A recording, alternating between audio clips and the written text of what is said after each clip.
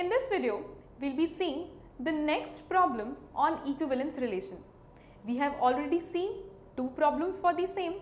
The first problem was a MCQ problem, multiple choice question problem with some options and we had to choose which was the correct one.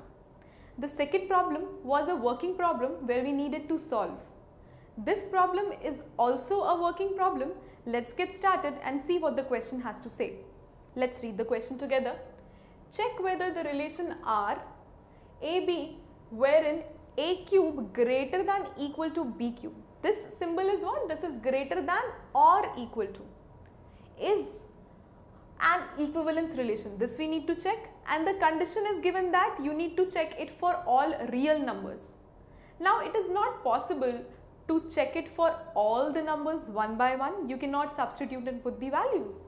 So what we can do is we can generalize the solution by taking three categories reflexive, symmetric and transitive. If it follows for all three, it means it is an equivalence relation. And if it doesn't, it means it is not an equivalence relation. Let's see and get started. I'll put the heading reflexive,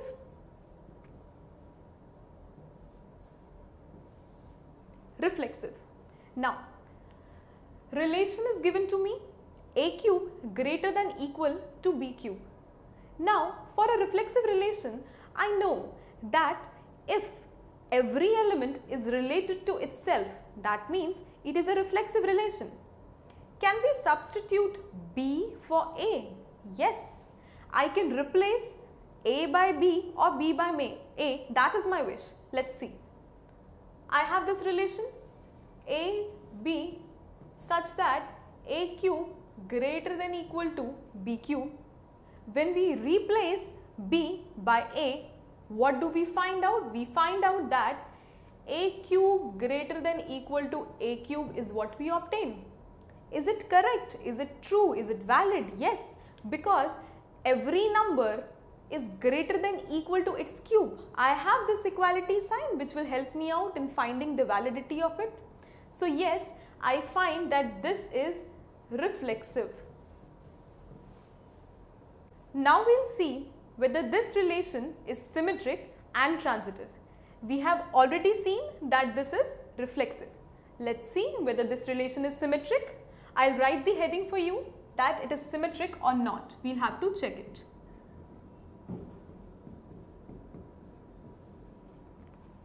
Yes, we can check it with the help of some examples or we can have a generalized approach for the same.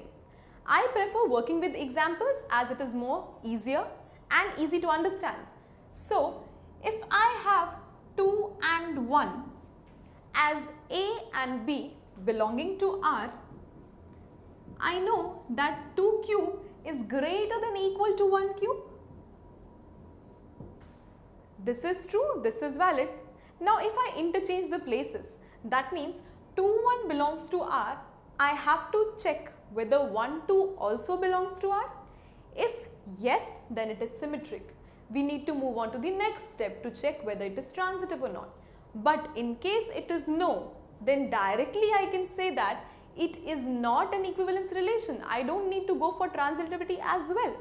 So, okay, let's check whether 1 2 belongs to R or not. So, 1 2 belongs to R or not. Let's check the same. 1 cube greater than equal to 2 cube. 1 cube is 1, 2 cube is 8. Is 1 greater than 8? No. So this is incorrect. This is not followed and hence this is not symmetric. And since it is reflexive but not symmetric, I do not need to check further whether it is transitive or not because all three reflexive, symmetric and transitive have to be followed for the presence of equivalence relation.